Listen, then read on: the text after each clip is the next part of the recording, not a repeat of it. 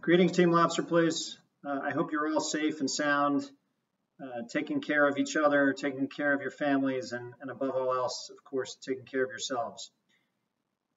I've been hearing from uh, quite a few of you asking about how the Lobster Place is doing, and of course, asking us or asking me about uh, job opportunities that may exist. So I wanted to give you a status update about the business and uh, let you know what I see happening over the next few weeks and months.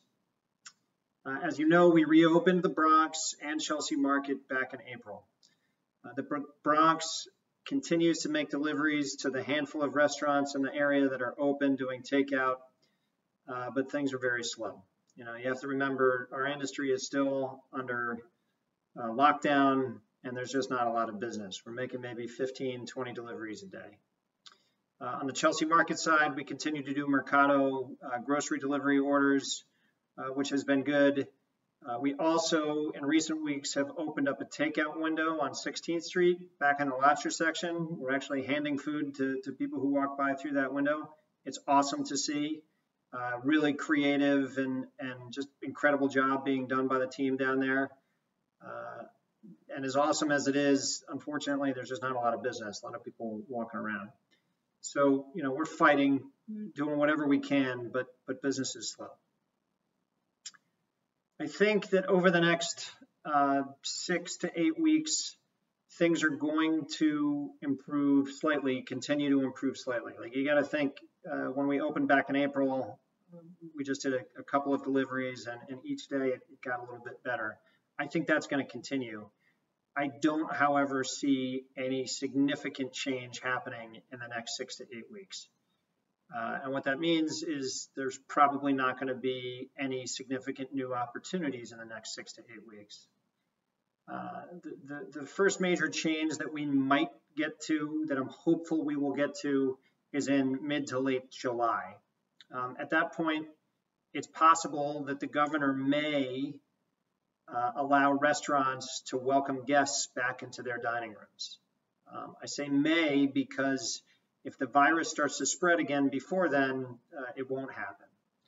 But uh, if it does happen and, and, the governor does permit restaurants to open and, and, actually have customers inside, we can expect that we'll go from very slow to you know a little bit less slow.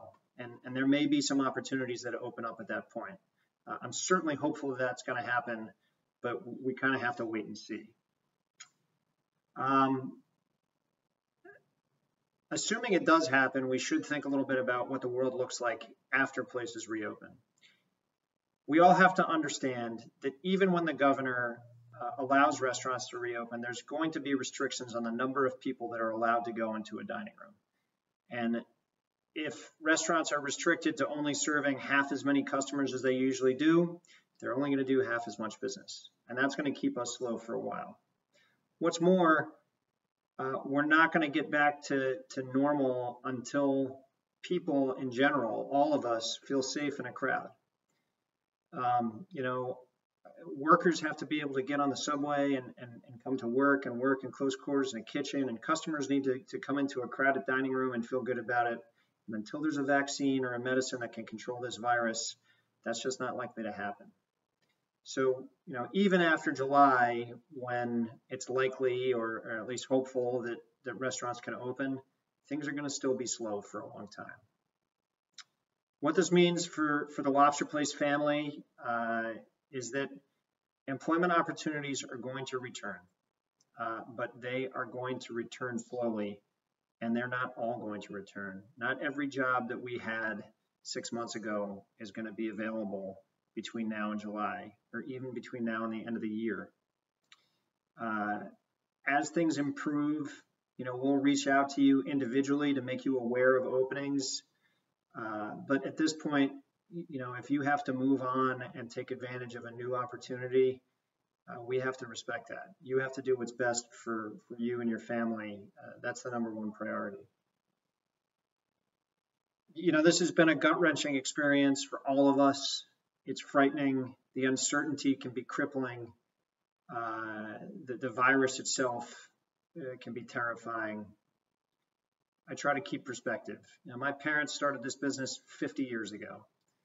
And along with key members of our team, I've been running it for, for over, uh, almost 20.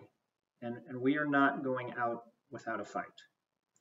Uh, not only are we not going out without a fight, I'm confident that we're down the road going to emerge from this thing bigger, better, and stronger uh, than we were before. When that time comes, uh, I hope we can welcome every single one of you back with open arms. But the the reality is that there's there's a lot of fighting to be done uh, to be done before that time, and it's going to take time.